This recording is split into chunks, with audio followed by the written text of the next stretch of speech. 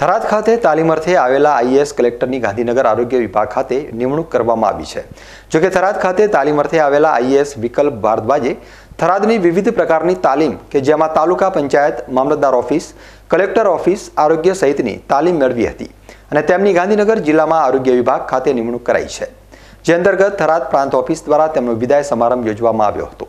ત્યારે નાયબ collector VC Bodana અને મામલતદાર દિલીપકુમાર દરજી દ્વારા શ્રીફળ, સાકર અને શાલો ઉઢાડી મોમેન્ટો આપી તેમનું સન્માન કરાયું હતું.